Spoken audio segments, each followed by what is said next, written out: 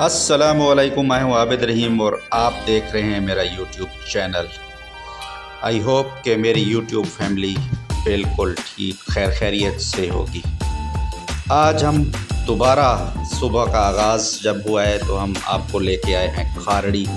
और तो खारड़ी चोलिस्तान का दिल है और चोलिस्तान के अंदर खारड़ी का एक शहर आबाद है। जैसे हम लोग अपने घर बनाते हैं कच्चे ईंटों से बनाते हैं, उसी तरह इन लोगों ने अपने घर लकड़ी से बनाए हुए हैं। अंदर आपको दिखाऊँ तो ये देखें आप, अंदर की जो लुक है वो आपको नज़र आ रही होगी कि ये सर्दियों के अंदर तो यहाँ पे काफ़ी ठंड होती है और उसके अंदर ये लोग सरवाइव करते हैं, लेकिन गर्मियों के अंदर ये बहुत ज़बरदस्त है। और ठंडक का यहाँ पे एहसास होता है। नेचुरल जो एयर कूलर है, वो कह लें आप, या आप कुदरती एयर कंडीशन रूम आप कह लें। लेकिन गर्मियों के अंदर यहाँ पे बहुत गर्म हवा चलती है और सर्दियों के अंदर सर्द हवाएँ और सर्दी होती है। ये सामने आपको बरामदा सा नज़र आ रहा है, जैसे हम अपने बरामदे बनाते हैं।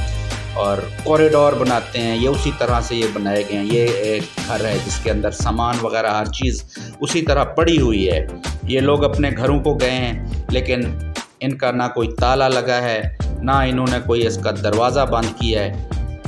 अपना सामान, हर चीज़ अपनी ये यहाँ पे छोड़ के अपने जानवरों के साथ चले गए हैं। तो ये गलियाँ बनी हुई हैं, कुचे बने हुए हैं। जिस तरह से हमारी एक कॉलोनी के अंदर हमारे घर बने हुए होते हैं और हमारी फैमिलियाँ वहाँ पर रह रही होती हैं। तो उसी तरह से इन्होंने भी ये सिस्टम सारा निज़ाम बनाया हुआ है। अपनी रिहाइश का कि कॉरिडोर्स हैं, गलियाँ हैं और मार्किंग की हुई है। और यहाँ पे जो लोग ज़्यादा अमीर हैं, जिनके ज़्यादा जानवर हैं, उनके घर भी ज़्यादा अच्छे बने हुए हैं। और जो लोग गरीब हैं और उनके घर भी उसी हिसाब से फिर थोड़े से कमज़ोर बने हुए हैं। यहाँ पे इन्होंने ये बरामदे बनाए हुए हैं, जहाँ पे नीचे जानवर बैठ जाते हैं और ऊपर ये अपना सामान वगैरह रख देते हैं। ये इनका किचन है और साथ ये जो आपको ढक्कन टाइप नज़र आ रही है चीज़, ये पानी के लिए इन्होंने स्टोर बनाया हुआ है। पानी की टैंकी आप इसको कह लें। तो इसी तरह ये एक छोटा सा बरामदा है। इसके नीचे जानवर वगैरह बैठ जाते हैं और ऊपर ये लोग अपना सामान वगैरह रख देते हैं। तो तमाम घर जो हैं वो इस वक्त लॉक हैं और इनके ऊपर इन्होंने जो दरवाज़े का जो इनका है सिस्टम, वो लकड़ी का दरवाज़ा है। जो चोलिस्तानी लकड़ी है उसका इन्होंने दरवाज़ा बनाया हुआ। ये दरवाज़ा है ये गली है आगे। एक घर से निकल के मैं दूसरे घर में फिर आ गया हूँ। ये तंग गली है, यहाँ से बंदा बड़ी मुश्किल से गुजर सकता है। और अगेन आपको बरामदा नज़र आ रहा है, किचन नज़र आ रहा है आपको ओपन। और ये जो गोपे बनाए गए हैं, ये बड़े ही शानदार किस्म के गोपे हैं यहाँ पे।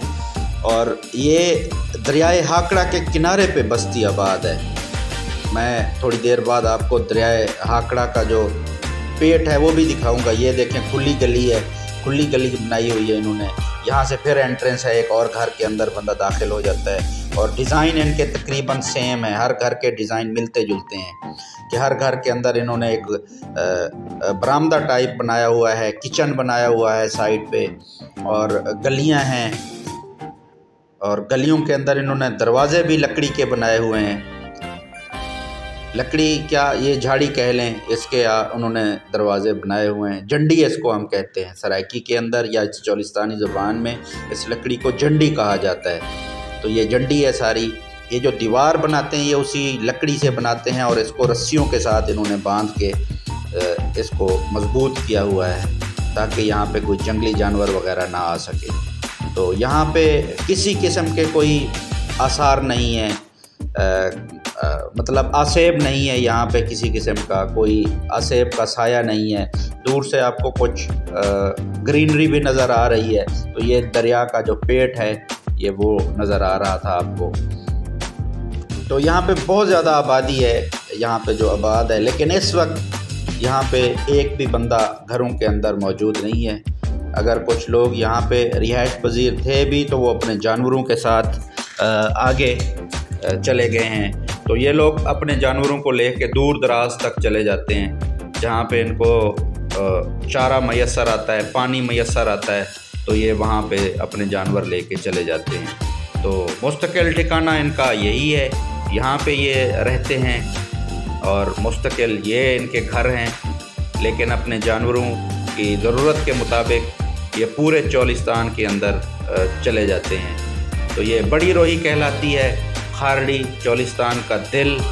तो बहुत कम लोगों ने यहाँ पे देखा होगा। ये घड़े वगैरह आपको नज़र आ रहे हैं। पानी के इस्तेमाल के लिए घड़े हैं। यहाँ पे जो औरतें होती हैं, वो सकाफती तौर पे दूर जाके घड़ों के अंदर पानी भर के ले आती हैं। और इनका जो रोज़मर्रा ज़िंदगी है, वो इसी तरह से गुज़रती है। और इनका जो मुआशी सोर्सेज हैं ज़रा आमदन के, वो इनके जानवर हैं। जानवरों को पालते हैं, जानवरों का दूध बेचते हैं।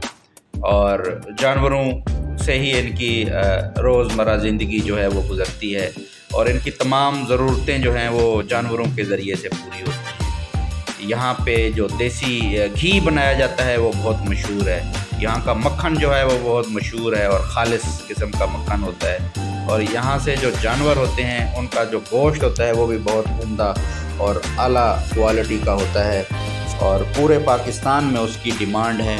उसकी मांग है। लेकिन वक्त गुज़रने के साथ साथ अब इन लोगों ने भी अपने जानवरों को फ़ीड देना शुरू कर दिया है और शुगर मिल से जो रॉ मटेरियल निकलता है, वो इन्होंने देना शुरू कर दिया है। और बाकी इनके जानवर जो है, वो चौलिस्तान के अंदर ही, जो चौलिस्तानी घास होता है, उसी पे गुजारा करते हैं। तो सामने हमारी जीप ठहरी हुई है और लोग भी हमारे जो हैं वो हमारे साथी फिर रहे हैं विज़िट कर रहे हैं इस जगह का। और दूर से अगर हम देखें तो आसमान और चौलिस्तान की ज़मीन एक जगह पे फिर मिलते हुए नज़र आते हैं। आसमान से ऊपर नीला नीला आसमान आपको नज़र आ रहा होगा। और जब दूर हम देखें तो ऐसे लगता है कि जी, आसमान और ज़मीन जो हैं वो आपस में मिल गए हैं, मिलाप हो गया है उनका। तो अब यहाँ से हमारा प्रोग्राम बन गया है दीनगढ़ की तरफ़। तो अभी हम यहाँ से मूवमेंट करते हैं दीनगढ़ की तरफ़, चलते हैं दीनगढ़। और आपको चल के सैर करवाते हैं दीनगढ़। तो दीनगढ़ जाने के लिए अगर हम यजमान से आएँ तो तकरीबन आपको 50 किलोमीटर ट्रैवल करना पड़ता है। भावलपुर से आप आते हैं यजमान यजमान से आप आते हैं चनन पीर चनन पीर से फिर आगे। आपको तकरीबन कोई तीस एक किलोमीटर की ट्रैवलिंग है और उसके बाद आप पहुँचते हैं खानगढ़ किला। अगर आप दरावड़ वाली साइड से आना चाहें तो पहले आप अहमदपुर जाएँगे। अहमदपुर शर्किया से आप किला दरावड़ और किला दरावड़ से फिर टोटल रेत का सफ़र है और तकरीबन आपको 70 किलोमीटर का फासला तय करना पड़ेगा। तो फिर आप जाके पहुँचेंगे दीनगढ़ किले के पास। तो हम लोगों के पास भी जीप थी और मोटरसाइकिल था। तो चोलिस्तान के अंदर ट्रैवल करने के लिए दो सवारियाँ ज़्यादा सूटेबल होती हैं। एक मोटरसाइकिल, वो भी वन टू फाइव हो, बड़ी मोटरसाइकिल हो, और दूसरे नंबर पे अगर आपके पास फ़ोर बाई फोर जीप है तो वो सबसे ज़्यादा बेस्ट है। लेकिन जब आप लोग चौलिस्तान के लिए ट्रैवल करें तो अपना फ्यूल, पानी टायर पंक्चर का सामान, स्पेयर व्हील और ज़रूरी छोटे मोटे आलात साथ लेके ज़रूर आएँ। अदरवाइज़ खुदा न खास्ता यहाँ पे किसी किस्म का कोई मिसहैप होता है, कोई मसला बन जाता है तो आपको रेस्क्यू करने के लिए, आपको रिकवर करने के लिए बहुत मुश्किल हो जाती है। तो ये है किला खानगढ़, जहाँ पे हम पहुँचे हैं अभी।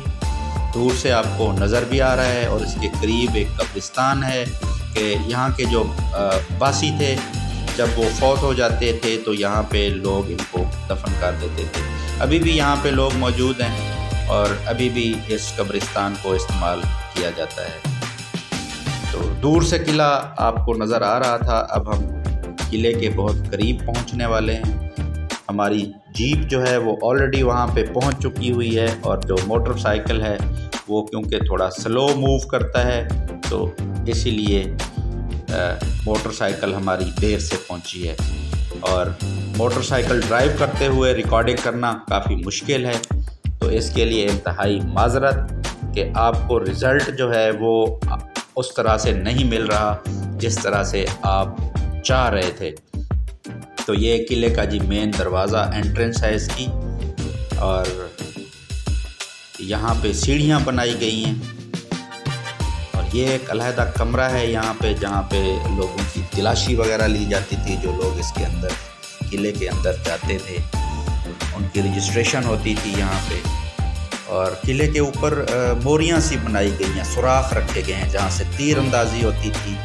या उस वक्त की जो बंदूकें होती थी, वो इस्तेमाल होती थी और इस किले की हिफाजत की जाती थी।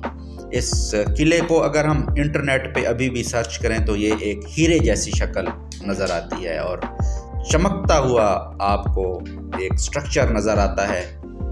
लेकिन वक्त गुज़रने के साथ साथ ये आलमोस्ट माधूम हो गया है इसकी कंस्ट्रक्शन में जो मटेरियल इस्तेमाल किया जा, किया गया था, वो कलकारियस और अल्गेरियस मटेरियल था। मतलब राख, मिट्टी, चूना, पत्थर मिला के ब्लॉक बनाए गए थे और उसकी मदद से इसको तामीर किया गया था। तो इसके दो दरवाज़े थे, एक एंट्रेंस का दरवाज़ा है और एक अकबी दरवाज़ा है। एग्ज़िट हम उसको कह सकते हैं। और इसके साथ साथ छोटे छोटे और भी काफ़ी सारे दरवाजे बनाए गए हैं। तो ये ब्लॉक्स आपको अभी भी नज़र आ रहे हैं। ऐसे दूर से अगर हम थोड़ा सा देखें तो ऐसे लगता है जैसे आ, कोई लकड़ी टाइप है चीज़ और लकड़ी के ब्लॉक्स हैं और उनकी मदद से कंस्ट्रक्शन की गई है। लेकिन दरअसल ये कैल्शियम के और आ, बाकी चीज़ों के राख को मिला के मिट्टी चूना पचरी ये सारी चीज़ें मिला के ब्लॉक्स बनाए गए थे और उनकी मदद से ये बनाए गए थे। अब हुकूमत वक्त इस पर तवज्जो नहीं दे रही। आसार कदीमा इस पर तवज्जो नहीं दे रहे तो जिसकी वजह से ये अब बदहाली का शिकार हो गए हैं। अगर हुकूमत वक्त और आसार कदीमा ने यहाँ पे तवज्जो दी तो इन ये आ, कुछ और साल जो हैं ये गुजार जाएगा और हमारी आने वाली नस्लों को भी इसको देखने का मौका मिलेगा। लेकिन अगर इसकी तरफ़ तवज्जो ना की गई तो फिर ये जैसे अभी बदहाली का शिकार है और ख़त्म हो रहा है तो इसी तरह से ये ख़त्म हो जाएगा। तो मैं अभी टॉप पे पहुँचा हूँ और मैं इन्हें बेहतर समझा कि आपको ऊपर से जा जाके भी सारा इसका एक दफ़ा व्यू दिखा दूँ। इसके साथ ही चाहता हूँ इजाज़त मिलेंगे नेक्स्ट वीडियो के अंदर। अल्लाह हाफि